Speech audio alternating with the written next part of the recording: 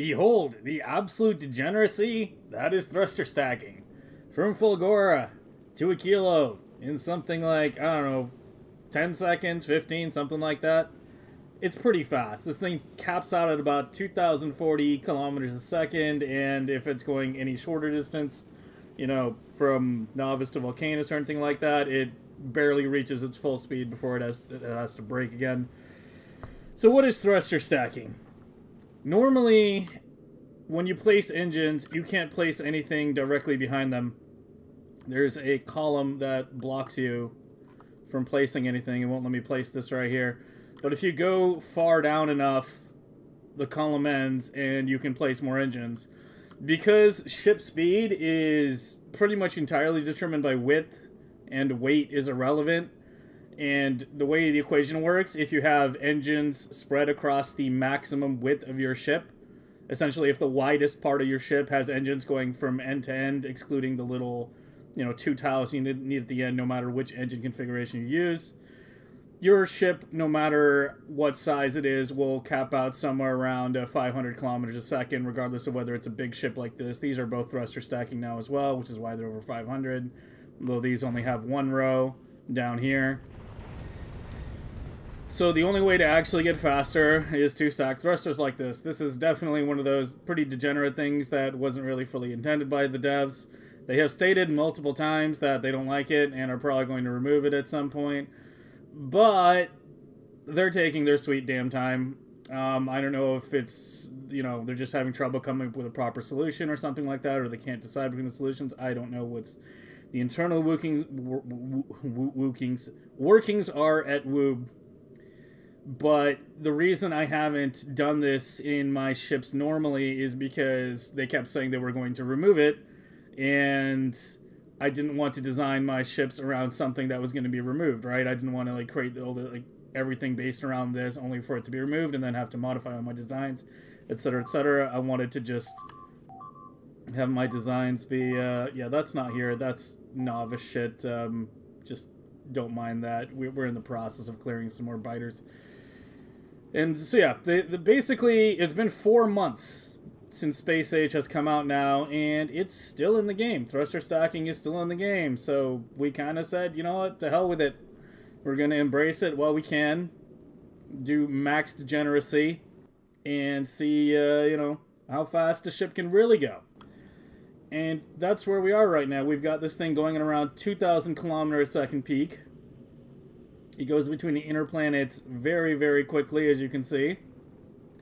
Um, if I send it too quickly, it drops a little too soon because there's some buffering issues, like somewhere way down there. I've added a bunch of tanks to try to... Shut up!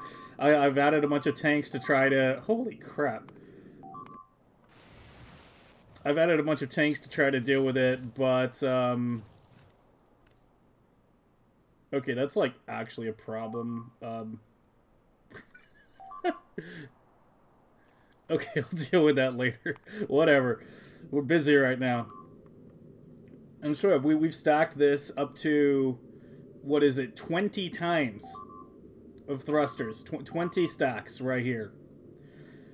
And that gets us about 2,000 kilometers a second top speed. If we're going between Nauvis and Vulcanus or any of the inner planets that are not Aquilo, you know, it's literally like a sub 10 second journey. It's there pretty much instantly. It's worth noting that this is not the limit. I know, um, you know, we're kind of joking about this being the fastest ship possible. It is possible to be make a ship technically fast in this. There, there is no limit to how many stacks you can have.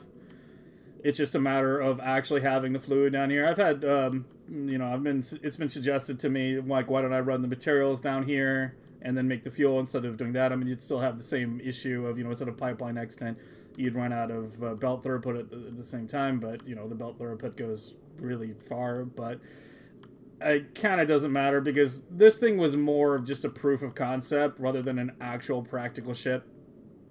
On my own personal ship, I've got three layers of thruster stacking right now. We stopped right below before we hit the pipeline extent. We're at 310 and 306 here on these two.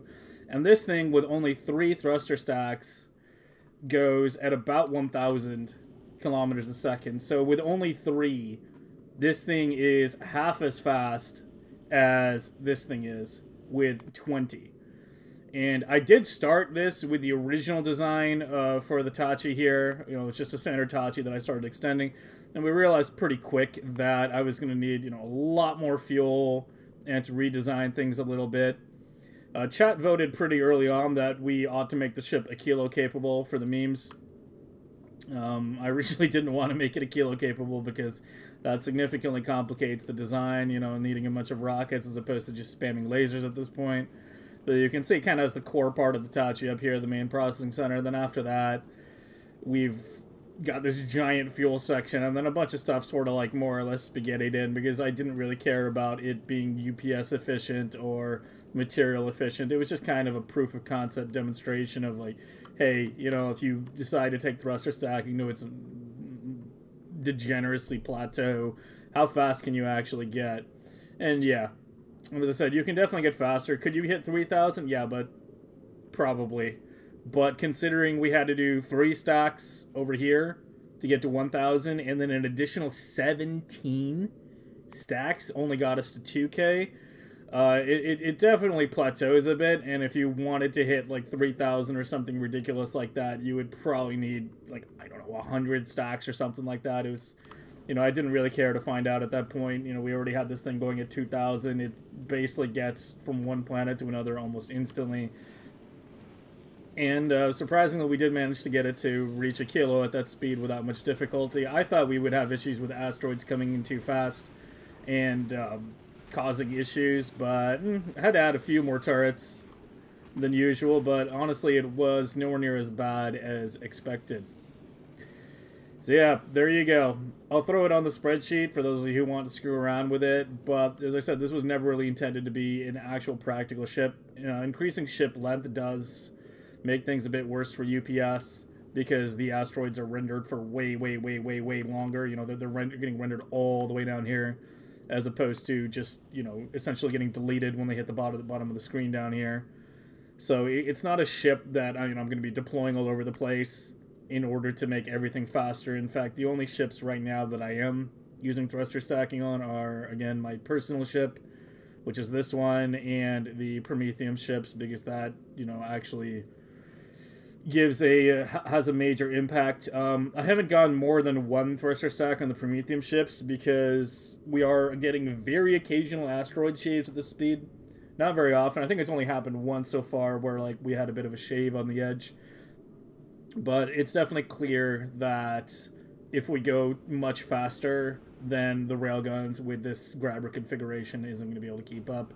And that part is sort of set in stone because you really want that 3 to 1 configuration for optimal, uh, well, optimal Promethium gathering because you need that to saturate a belt. So, yeah, thruster stacking. Probably shouldn't be in the game the devs have said they don't like it, but you know what? It's still in the game, so enjoy it while you can. Just be careful with it. Uh, you don't want to leave a ship like this stopped at Aquilo for a while because if a larger asteroid comes to the side and cleaves through here, it can knock out all your thruster stacks in one fell swoop. I do have laser turrets on the spine here to try to mitigate the smalls and the mediums, but yeah, you know, when, when you're stopped, even the big ones can come at like odd angles down here and cleave something off. So I usually don't leave it at Aquilo. Uh, so we're going to send that one back right there. One last trip for you guys to see. Getting that nice 2000. 53.8 giganewtons of thrust. This is more thrust than the Promethium ships are capable of generating. And they actually, it actually weighs more as well. This is a 3,000 ton ship. And my Promethium ships are what? Like 2.5? Oh my god, they're eating my base. Alright, yeah, that one's gonna fall because the power got cut. Yeah, I'll deal with that later. Okay. we, we have a little problem. I don't even know how they managed to knock out the power there. Maybe I do need one more Tesla turret on that one. We'll deal with that later. Okay, I, I, have some alarms to deal with. The, the biters are uh, causing issues, so enjoy thruster stacking while it lasts.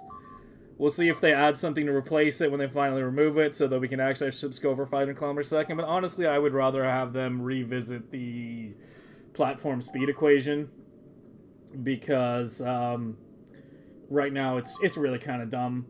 It, it's like basically if your engines are spamming your maximum width of your ship, it's like this. You know, the, like if they go end to end, you don't have any extra over the over the end, and they're all legendary, and you're all keeping them all fed. Then you know that's essentially the max speed you're gonna get which is to be around 500. So it's really kind of boring to have all ships kind of plateau around 500. It also makes optimizing for weight and doing weird stuff like this not really make much of a difference because removing mass doesn't really, you know, change anything. So enjoy it while it lasts, because who knows how long it's going to last. The, de the devs do not like it. The devs have stated multiple times they don't like it, but the devs also have not yet fixed it, and it's been several months, so you know, it might be a Factorio 2.1 thing or something. We just don't know. They haven't given us any timeline or anything on when it's actually going to be fixed. All we know is that, you know, as, devs have seen it, they're like, yeah, that's don't expect that to stick around, you know, and we don't like that kind of comments um, coming out. So, yeah, they're like, it's going to get axed at some point. Just be aware of that. But since it's been in the game this so long, knock yourself out. I'm Stupid Fat Hobbit. I stream at Twitch TV SF Hobbit, and thanks for watching.